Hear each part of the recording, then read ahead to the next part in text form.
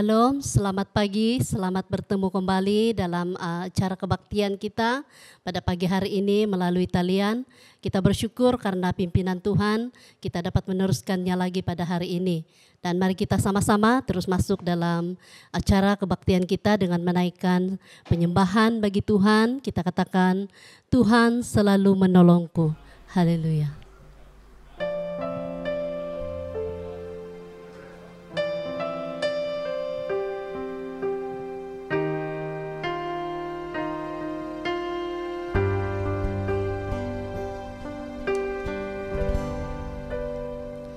Musim akan selalu berganti. Kasih Tuhan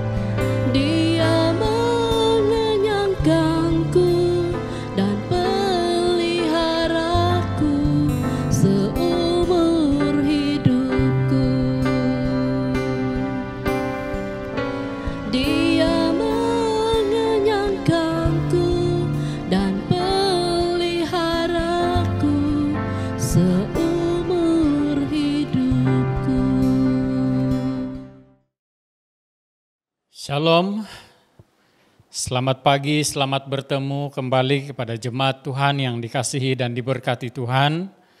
Selamat beribadah kepada seluruh jemaat yang mengasihi Tuhan. Puji Tuhan karena hari ini sekali lagi kita dapat bersama-sama dalam ibadah raya kita pada pagi hari ini. Semoga Anda semua dalam keadaan yang sehat dan hidup dalam kekuatan iman yang terpelihara di dalam kasih dan anugerah Tuhan Yesus Kristus. Puji Tuhan. Eh, Sebelum kita lanjut dalam ibadah kita pada pagi hari ini, senang sekali membawa kita berdoa dan sudah pastilah kita akan berdoa bagi orang-orang sakit, kita berdoa bagi pekerjaan perusahaan serta peniagaan jemaat. Kita juga berdoa bagi persekolahan anak-anak, juga pelayanan dan kesatuan dalam iman kepada Kristus Yesus uh, seluruh jemaat kita. Mari kita berdoa bersama-sama, saya pimpin dalam doa. Segala pujian, hormat, dan kemuliaan hanya bagimu Bapa, Tuhan yang kami sembah dan tinggikan dalam nama Tuhan Yesus Kristus. Kami bersyukur kalau pada pagi hari ini kami dapat bersama-sama dalam ibadah ini. Sudah pastilah ya Tuhan kerinduan kami adalah menaikkan pujian, penyembahan serta uh, syukur kami di hadapan-Mu ya Bapa. Terima kasih untuk pujian-pujian yang sudah uh, kami naikkan ya Tuhan. Bahkan ya Tuhan kami bersyukur kalau pada pagi hari ini juga kami dapat mendoakan sesama kami ya Tuhan. Bapa di sorga kami berdoa bagi yang sakit disembuhkan, yang lemah dikuatkan, yang susah dihiburkan. Dan Tuhan Yesus kami mau berdoa bagi pekerjaan, perusahaan, serta perniagaan jemaat yang terjejas karena keadaan-keadaan semasa. Namun Tuhan kami percaya Engkau tidak pernah membiarkan, tidak pernah meninggalkan jemaatmu ya Tuhan, bahkan sentiasa memberkati mereka, memberi mereka damai sejahtera sukacita. Persekolahan anak-anak kami juga diberkati. Pelayanan dan kesatuan iman dalam Kristus Yesus bagi jemaat Tuhan juga diberkati. Bapa di sorga terima kasih. Kami serahkan seluruh uh, ruang waktu bahkan pribadi lepas pribadi dalam tangan Tuhan Yesus Kristus Tuhan dan Juru Selamat kami.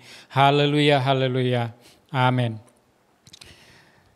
Sekali lagi saya ucapkan shalom, selamat pagi kepada seluruh jemaat yang dikasihi dan diberkati Tuhan. Bagi Anda yang uh, baru bergabung dengan kami, selamat bergabung. Uh, kita sangat pasti bahwa Tuhan Yesus memberkati kita semua dan mari kita nikmati bersama-sama firman Tuhan ataupun pelayanan pada hari ini.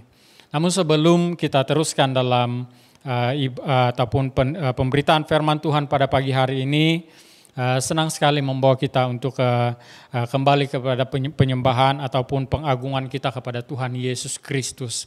Kita tahu bahwa Tuhan Yesus lebih besar dari segala-galanya. Walaupun kita berada dalam keadaan yang sangat um, uh, dikuasai dengan kekhawatiran pada masa-masa uh, ini, tetapi kita sangat yakin bahwa Yesus lebih besar dari segala-galanya. Mari kita angkat pujian ini, mari kita angkat um, penyembahan ini di hadapan Tuhan, mengakui bahwa Yesus lebih besar dari segala-galanya. Haleluya, haleluya. Haleluya Tuhan. Engkau lebih besar Tuhan. Engkau lebih besar mengatasi segala-galanya. Engkau lebih besar dari segala masalah yang kami hadapi. Engkau lebih besar dari segala persoalan-persoalan. Terima kasih Bapa di sorga, karena Engkau perkenankan kami untuk dapat memuji menyembah Engkau dalam roh dan kebenaran. Haleluya Tuhan. Haleluya Jesus. Yesus terlebih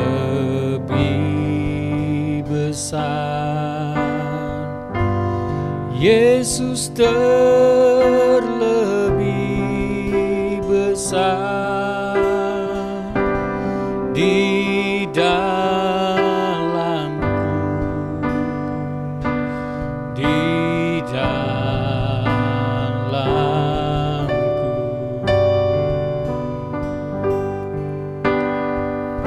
Yesus terlebih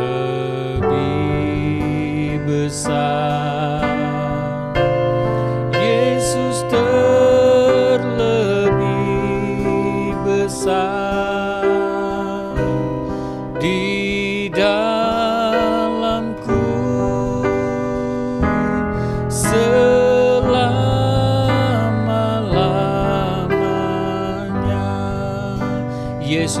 Terlebih besar. Yesus terlebih besar. Yesus terlebih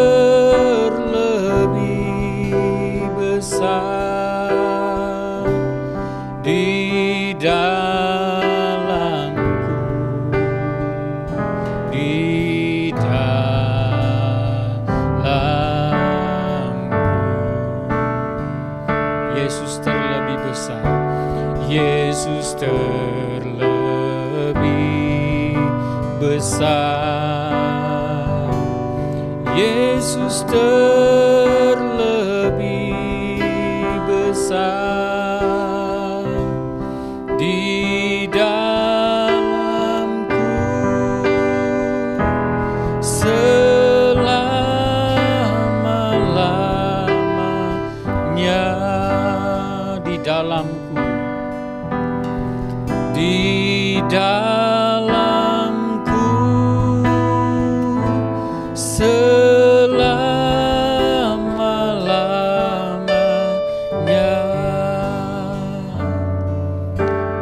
sorga terima kasih Tuhan karena Engkau sudah memberikan kesempatan ini untuk kami dapat mendengarkan firman-Mu. Tuhan berbicaralah kepada kami pribadi lepas pribadi. Baik kami sebagai jemaat biasa ataupun jemaat dewasa maupun kepada anak-anak muda serta anak-anak sekolah minggu yang mendengar ibadah ini ya Tuhan, yang mengikuti ibadah ini, mendengar firman-Mu. Biarlah kiranya kasih karunia Tuhan yang memberi pencerahan kepada kami semua. Sehingga ya Tuhan, kami mendapat pengertian yang benar lewat firman-Mu. Dalam nama Tuhan Yesus, kami berdoa. Haleluya. Amin. Amin. Sekali lagi saya ucapkan shalom. Selamat bergabung, selamat bertemu dalam kasih Tuhan kepada seluruh jemaat yang dikasihi dan diberkati Tuhan. Puji Tuhan. Saudara, kita bersyukur kepada Tuhan Yesus Kristus atas segala berkat dan pimpinannya kepada kita sepanjang hidup ini. Bukan sepanjang enam hari yang lalu, tetapi sepanjang hidup ini. Kita bersyukur uh, karena dia yang memelihara serta menuntun kita. Tuhan Yesus memelihara kita serta dia menuntun kehidupan kita kepada kehidupan yang lebih baik, kehidupan yang telah dimerdekakan oleh Tuhan. Haleluya. Nah itu sebabnya kita ada kekuatan bila kita menghadapi apa juga keadaan dunia pada hari ini. Itu sebabnya kita punya kekuatan untuk berhadapan dengan berbagai-bagai cabaran yang kita hadapi selama hidup kita. Dan apatah lagi bila akhir-akhir uh, ini kita diperhadapkan dengan keadaan-keadaan yang begitu sukar, semakin banyak kesulitan, semakin banyak kesukaran yang kita hadapi. Namun Tuhan memberikan kita kekuatan dan puji Tuhan. Itulah orang keistimewaan orang-orang percaya, orang-orang yang diberkati dan dikasihi Tuhan. Haleluya. Mari kita membaca firman Tuhan yang terdapat di dalam Injil Yohanes pasal yang ke-15 ayat yang pertama sampai ayat yang ke-8. Injil Yohanes pasal 15 ayat yang pertama sampai ayat yang ke-8. Tulisan pekat hitam di atas berkata, pokok anggur yang benar. Yohanes 15 ayat 1 sampai ayat yang ke-8, ayat 1, Akulah pokok anggur yang benar dan Bapakulah pengusahanya. Setiap ranting padaku yang tidak berbuah, dipotongnya dan setiap ranting yang berbuah dibersihkannya, supaya ia lebih banyak berbuah. Kamu memang sudah bersih karena firman yang telah kukatakan kepadamu tinggallah di dalam aku dan aku di dalam kamu, sama seperti ranting tidak dapat berbuah dari dirinya sendiri kalau tidak tinggal pada pokok anggur. Demikian juga kamu tidak berbuah jikalau kamu tidak tinggal di dalam aku. Akulah pokok anggur dan kamulah ranting-rantingnya. Barang siapa tinggal di dalam aku dan aku di dalam dia, ia berbuah banyak. Sebab di luar aku kamu tidak dapat berbuat apa-apa. Barang siapa tidak tinggal di dalam aku, ia dibuang keluar seperti ranting dan menjadi kering, kemudian dikumpulkan orang dan dicampakkan ke dalam api lalu dibakar. Jikalau kamu tinggal di dalam aku dan firmanku tinggal di dalam kamu, mintalah apa saja yang kamu kehendaki dan kamu akan menerimanya. Dalam hal inilah Bapakku dipermuliakan, yaitu jika kamu berbuah banyak dan dengan demikian kamu adalah murid-muridku. Demikian firman Tuhan yang menjadi renungan kita pada pagi hari ini. Puji Tuhan dan saya membawa kita belajar dengan satu tema yaitu tetaplah tinggal di dalam Yesus. Nah, sekali lagi perkataan tetaplah itu mendahului tema kita pada pagi hari ini, yaitu tetaplah tinggal di dalam Yesus. Tinggal di dalam Yesus ini tidak uh, tidak susah, tidak susah, hanya perlukan penyerahan. Jadi kita perlu tetap tinggal di dalam Yesus karena ada keistimewaan bila kita tinggal di dalam Yesus. Sudah dikatakan oleh firman Tuhan tadi bahwa kamu tidak dapat berbuat apa-apa jika kamu berada di luar Kristus. Nah, saudara yang dikasih Tuhan, tetap tinggal ataupun tinggal e, berarti masuk dan mendiami. Masuk dan mendiami ataupun e, mengambil keputusan untuk tinggal bersama-sama ataupun mendiami tempat di mana uh, kita ber, sudah ditawarkan, yaitu mendiami apa yang Tuhan tawarkan buat kita. Tuhan Yesus tinggal bila Tuhan Yesus um, sudah menawarkan kepada kita, Dia tinggal di dalam kita dan firman-Nya juga tinggal di dalam kita, maka segala keistimewaan yang Tuhan sudah janjikan itu berlaku dalam kehidupan kita. Nah, saudara yang dikasih Tuhan, Tuhan Yesus yang bertakhta dalam kehidupan kita. Bila dikatakan bahwa aku tinggal bersama-sama dengan kamu. Dan saudara yang dikasih Tuhan, tetaplah tinggal di dalam Yesus. Ini yang perlu kita lakukan. Kita perlu praktikkan ini setiap waktu. Setiap waktu dan sepanjang hidup kita. Kita perlu praktikkan tetap tinggal di dalam Yesus. Jangan sekali-kali mengambil masa ataupun mengambil keputusan untuk tinggal di luar Yesus. Nah, karena apabila kita tinggal di dalam Dia, tinggal di dalam Yesus, maka kita akan menikmati kuasa, kita akan menikmati kasih, kita akan menikmati anugerah, kita akan menikmati hadiratnya Tuhan. Kita juga dapat mengerti dan melihat kehendak Tuhan untuk kita. Kehendak Tuhan untuk semua orang percaya yang tinggal di dalam Kristus Yesus. Dan Orang yang tinggal tetap di dalam Kristus Yesus, dia akan mengalami damai sejahtera, sukacita yang luar biasa yang tidak ada henti-hentinya. Haleluya. Dan yang paling penting untuk kita sentiasa ketahui ialah tinggal di dalam Kristus Yesus berarti kita memiliki sekurang-kurangnya ada empat perkara yang harus senantiasa kita ingat sebagai orang yang tetap tinggal di dalam Kristus Tuhan kita. Yang pertama, tetaplah tinggal dalam Kristus Yesus, sebab di dalam Kristus Yesus, di dalam Tuhan, di dalam um, Kristus Yesus tadi kita sudah uh, nyatakan bahwa kita akan memiliki uh, segala keistimewaan dan keistimewaan terutama yang akan kita nikmati kita miliki adalah kita akan memiliki kehidupan. Kehidupan itu dijanjikan oleh Tuhan. Dijanjikan oleh Tuhan bahwa setiap orang yang percaya akan mendapat hidup. Setiap orang yang percaya akan menikmati aliran-aliran sungai hidup. Itu yang dijanjikan oleh Tuhan. Dan kehidupan yang dimaksudkan di sini adalah uh, kehidupan yang uh, kita hidupi sekarang ini dan juga kehidupan pada masa akan datang. Itu yang sudah dijanjikan dalam Yohanes 3:16. Nah, saudara yang dikasih Tuhan, Orang yang tinggal tetap di dalam Kristus Yesus, yang sudah mengambil keputusan untuk tetap tinggal di dalam Kristus Yesus sebagai Tuhan dan Juru Selamat, sebagai panduan hidup, sebagai uh, penuntun hidup, dia akan memiliki kehidupan.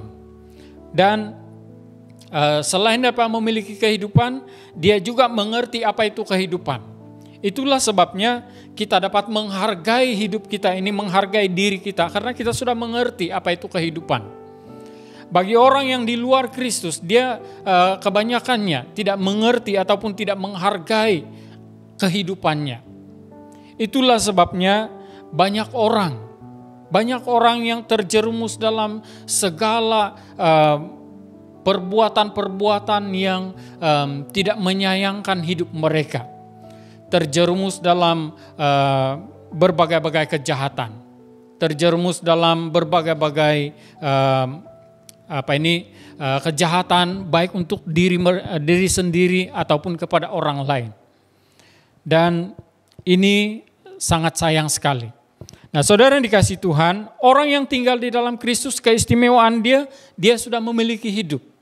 Kita sudah memiliki hidup di dunia ini dan akan memiliki hidup yang seterusnya, yaitu kehidupan yang kekal. Nah, yang kita mau uh, supaya kita dapat nikmati di dunia ini ialah kita dapat mengerti apa itu kehidupan. Kita dapat mengerti apa itu kehidupan. Kita hidup pada hari ini untuk apa? Kita dapat mengerti semua itu. Kita hidup pada hari ini untuk memuliakan nama Tuhan Yesus Kristus. Kita hidup pada hari ini adalah untuk melakukan kehendak Tuhan. Kita hidup pada hari ini adalah untuk menyenangkan hati Tuhan. Kita hidup pada hari ini adalah untuk melaksanakan tugas atau kerja-kerja yang Tuhan percayakan kepada kita. Kita hidup pada hari ini karena kita adalah orang-orang yang diberkati oleh Tuhan dan untuk memberkati orang lain. Nah, saudara yang dikasih Tuhan, itu perlu kita mengerti. Dan ini yang perlu menjadi bagian dalam kehidupan kita. Itulah sebabnya kita mau tetap tinggal di dalam Kristus. Supaya kita memiliki hidup, supaya kita memiliki pengertian apakah itu kehidupan. Dan ya seterusnya, kita tahu untuk apa kita hidup. Orang percaya yang tinggal tetap di dalam Kristus, dia tahu untuk apa dia hidup. Kalau orang yang di luar Kristus dia tidak tahu untuk apa dia hidup. Ada yang dikatakan dalam firman Tuhan ataupun dalam Alkitab bahwa kamu hidup untuk perut kamu. Tetapi kita pada hari ini orang yang tinggal tetap di dalam Kristus, kita tahu bahwa kita hidup untuk memuliakan nama Tuhan. Kita hidup untuk me, um, menjadi berkat kepada orang lain. Kita hidup untuk menjadi uh, alat Tuhan ataupun menjadi rekan sekerjanya Tuhan untuk bekerja di muka bumi ini selagi masih ada kehidupan. Dan itu itulah tujuan kita hidup. Tujuan kita adalah memuliakan nama Tuhan. Dan yang seterusnya kita akan mengerti kenapa kita hidup. Untuk apa kita hidup dan ke mana hidup ini akan pergi. Seperti mana kalau kita rujuk dalam uh, Roma 11 ayat 36 Sebab segala sesuatu adalah dari Dia dan oleh Dia dan kepada Dia. Bagi Dialah kemuliaan sampai selama-lamanya. Maksud firman Tuhan ini segala sesuatu itu berasal dari Tuhan dan melalui tuntunan Tuhan, melalui uh, kehendak Tuhan, melalui rencana Tuhan, waktunya Tuhan. Dan apa yang kita hadapi, apa yang kita lalui, lewati dalam kehidupan kita ini, semuanya bersama-sama dengan Tuhan. Sekalipun mungkin kita berhadapan dengan berbagai-bagai kesulitan, tetapi Tuhan tidak pernah terlelap, tidak pernah tertidur, senantiasa eh, menjagai kita, senantiasa menjadi pelindung, menjadi penuntun kita. Dan akhirnya kita tahu bahwa kehidupan kita ini akan kembali kepada Tuhan. Nah, saudara yang dikasih Tuhan, Itulah yang akan menjadi keistimewaan, menjadi keistimewaan bagi kita sebagai orang-orang percaya yang tetap tinggal di dalam Kristus. Itu yang pertama. Dan yang kedua, jika kita mengambil ketetapan untuk tinggal tetap di dalam Kristus Yesus sebagai Tuhan, di dalam pembacaan kita dalam Injil Yohanes 15 ayat 1 sampai ayat yang ke-8 itu sudah menyatakan kepada kita bahwa kita punya pengharapan. Orang yang tinggal di dalam Kristus Yesus punya pengharapan, akan memiliki pengharapan. Dan sentiasa memiliki pengharapan. Pengharapan itu tidak akan um, datang pada hari ini dan esok hilang. Pengharapan itu senantiasa ada. Pengharapan itu senantiasa ada dalam kehidupan orang-orang percaya yang tinggal tetap di dalam Kristus Yesus. Saudara yang dikasih Tuhan, kadang-kadang ada orang yang mengatakan bahwa dia sudah hilang harapan. Yang hilang harapan itu, um, yang hilang itu adalah dirinya, bukan pengharapan. Pengharapan itu tetap ada, tetapi dia yang menghilangkan diri. Tidak lagi berharap, tidak lagi mengharap, tidak lagi memberi uh, dirinya untuk berharap kepada pengharapan yang benar. Oleh sebab itu saudara yang dikasih Tuhan, orang yang tetap tinggal di dalam Kristus Yesus akan mengalami ataupun memiliki pengharapan. Pengharapan yang pasti, pengharapan yang tidak pernah mengecewakan, pengharapan yang tidak pernah gagal, tidak pernah terlambat, tidak pernah um, apa, apa kata orang tidak pernah uh, miss daripada segala apa yang sudah ditetapkan, dijanjikan. Kalau kita melihat di dalam uh, Roma pasal yang kelima ayat 1 sampai ayat yang ke-11 saya tidak akan baca itu. Saya hanya membaca dalam beberapa uh, ayat. Uh, Roma pasal 5 ayat 1 sampai 11 ayat 1 sebab itu kita yang dibenarkan oleh iman, oleh dibenarkan karena iman, kita hidup dalam damai sejahtera dengan kasih oleh karena Tuhan kita Yesus Kristus. Oleh Dia kita juga beroleh jalan masuk oleh iman kepada kasih karunia ini. Di dalam kasih karunia itu kita berdiri dan kita bermegah dalam pengharapan akan menerima kemuliaan Allah dan Bukan hanya itu saja, kita malah bermegah juga dalam kesengsaraan kita, karena kita tahu bahwa kesengsaraan itu menimbulkan ketekunan, dan ketekunan menimbulkan tahan uji, dan tahan uji menimbulkan pengharapan, dan pengharapan tidak mengecewakan karena kasih Allah telah dicurahkan di dalam hati kita oleh Roh Kudus yang telah dikaruniakan kepada kita. Kita boleh baca itu selanjutnya. Pengharapan tidak mengecewakan. Berarti Tuhan Yesus yang adalah pengharapan kita tidak pernah mengecewakan. Yang mengecewakan itu adalah diri kamu dan diri saya. Diri saudara dan diri saya yang mengecewakan Tuhan, senantiasa mengecewakan Tuhan karena kita sering kali menghilangkan diri, sering kali um, membatasi pengharapan kita kepada Tuhan. Tetapi bagi orang-orang yang uh, sudah mengambil ketetapan, tetap tinggal di dalam Kristus Yesus, dia punya pengharapan dan pengharapan itu pengharapan yang pasti. Dia juga akan memiliki pertolongan. Dari pengharapan itu dia akan memiliki pertolongan. Dia akan mengalami pertolongan Tuhan ayat yang uh, dalam uh, Ibrani pasal 4 ayat 16 sebab itu marilah kita dengan penuh keberanian menghampiri takhta kasih karunia supaya kita menerima rahmat dan menemukan kasih karunia untuk mendapat pertolongan kita pada waktunya pertolongan kita pada waktunya berarti pertolongan Tuhan dalam pengharapan yang adalah pengharapan kita itu adalah pertolongan yang tepat pada masanya. Jadi saudara yang dikasih Tuhan, pengharapan yang diberikan kepada kita juga itu adalah pengharapan yang membekalkan ataupun memberikan kita pemberkatan.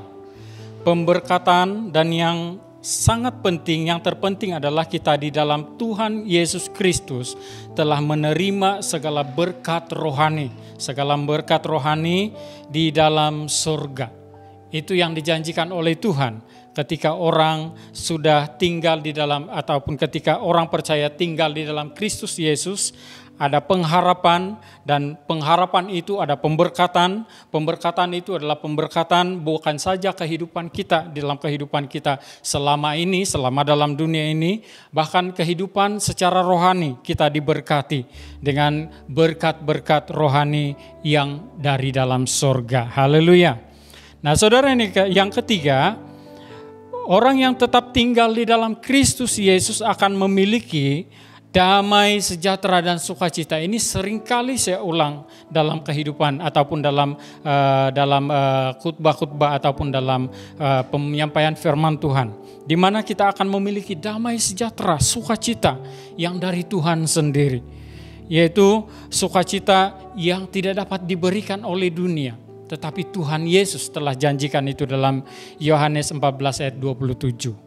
Saat kita sedang menghadapi kesukaran-kesukaran pada masa-masa sekarang ini, kita menghadapi itu dengan penuh sukacita karena bukan karena um, uh, bukan karena uh, kita ini lebih uh, hebat daripada orang lain, tetapi yang kita yang tinggal di dalam kita itu hebat adalah uh, Allah yang hebat, adalah Allah Tuhan yang lebih berkuasa dari segala-galanya. Itu sebabnya kita bersuka cita karena kita tinggal di dalam Kristus Yesus dan Yesus di dalam kita. Puji Tuhan. Yang keempat, saudara yang dikasih Tuhan, orang yang tetap tinggal di dalam Kristus Yesus akan mengalami, akan memiliki kemenangan di atas segala sesuatu. Saya senang untuk membacakan satu petikan, beberapa petikan firman Tuhan. 1 Petrus pasal 2 ayat 16. Hiduplah sebagai orang merdeka dan bukan seperti mereka yang menyalahgunakan kemerdekaan itu untuk menyelebungi kejahatan-kejahatan mereka. Tetapi hiduplah sebagai hamba Allah.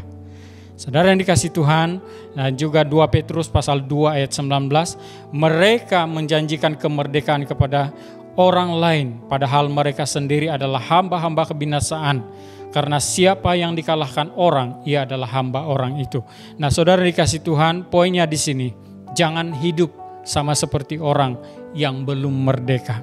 Tetapi kita tahu bahwa kita di dalam Kristus, bila kita tinggal di dalam Kristus Yesus, kita sudah memiliki kemerdekaan. Kemerdekaan di dalam Kristus Yesus. Kita telah merdeka ataupun menang di dalam Kristus Yesus, tapi jangan lagi hidup sebagai orang yang kalah atau yang tidak berpengharapan. Kita selalu dengar di TV bahwa kita ini belum menang.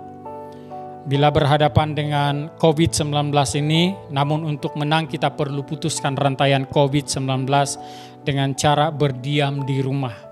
Jangan keluar, jangan pergi ke mana-mana, diamlah di rumah. Amsal 22 ayat yang ketiga di sana sudah menyatakan kepada kita, kalau orang bijak melihat malapetaka bersembunyilah ia. Tetapi orang yang tak berpengalaman berjalan terus lalu kena celaka. Saudara yang dikasih Tuhan, begitu juga dengan kemenangan kita dalam Kristus. Kemenangan kita di dalam Kristus kita akan benar-benar merdeka bila kita berada di dalam Tuhan Yesus Kristus, memutuskan rantaian ataupun ikatan kita dengan dosa, memutuskan ikatan kita dengan kuasa kejahatan dan kuasa dunia yang gelap ini. Kalau kita berada di dalam Kristus Yesus Tuhan kita, jangan lagi besar-besarkan dan bangga-banggakan kuasa-kuasa kegelapan. Kita sudah berada di dalam Kristus, tinggal di dalam Yesus yang lebih kuat, yang lebih besar daripada segala-galanya. Saudara yang dikasih Tuhan, kita telah menang dari segala hal yang bertentangan dengan kasih dan kuasa Tuhan. Kita telah menang daripada pencobaan. Kita telah menang dari segala kuasa ataupun kuasa dosa. Dosa sudah tidak berkuasa lagi atas diri kita karena Kristus Yesus sudah salibkan itu. Dan telah menebus kita dengan darahnya yang kudus, darahnya yang mahal kita juga telah menang di atas kuasa penyakit. Dan kita tidak lagi dikuasai oleh penyakit dan kita tidak lagi um, hidup sebagai orang-orang yang ter, uh, terikat dengan uh, segala kuasa ini. Kita juga telah menang dari kuasa kegelapan dunia. Dunia yang gelap ini, sistem dunia yang gelap ini. Yang uh, tidak jujur, tidak tulus, tidak ikhlas. Kita juga telah menang di atas kuasa iblis. Karena Tuhan Yesus yang telah memenangkan kita. Puji Tuhan. Saudara yang dikasih Tuhan, inilah empat perkara yang perlu kita senantiasa pegang. Yang perlu kita senantiasa ingat dalam kehidupan kita.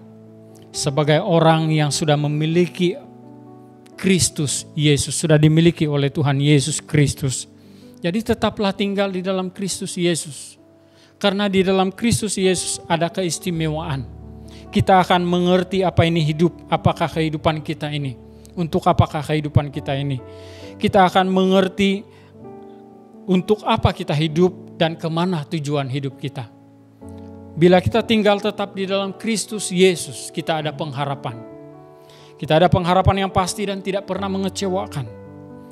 kita juga ada pertolongan, pertolongan yang tepat pada waktunya, pemberkatan, dan yang terpenting adalah bila kita tinggal dalam Kristus Yesus, kita menerima berkat-berkat secara rohani yang dari sorga. Dan ya seterusnya bila kita tinggal tetap di dalam Kristus Yesus, kita akan memiliki damai sejahtera, sukacita yang tidak berkesudahan.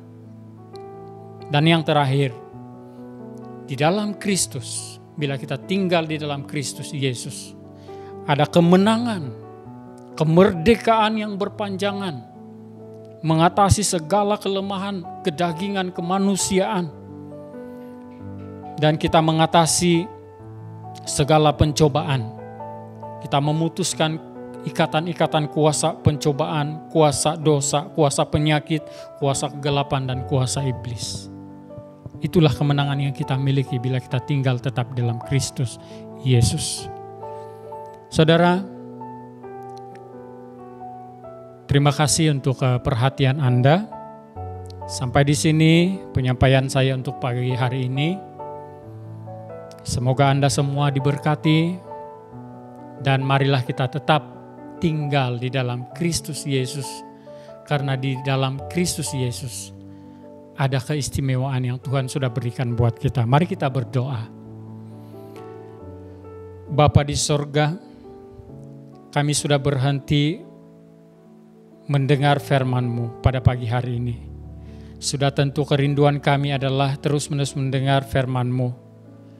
Dan kami tahu pasti Tuhan bahwa firman-Mu akan terus-menerus berbicara kepada kami lewat pelayanan roh-Mu. Sebab itu Tuhan kami serahkan hidup kami. Supaya kami terus tetap menikmati hal ini dengan tetap tinggal di dalam Engkau. Engkau tetap tinggal di dalam hati kami dan firman-Mu tetap menjadi penuntun hidup kami. Terima kasih Tuhan. Berkati seluruh jemaatmu. Di mana pun mereka berada, apa pun kondisi mereka. Tuhan kami percaya berkatmu mengalir dalam kehidupan mereka.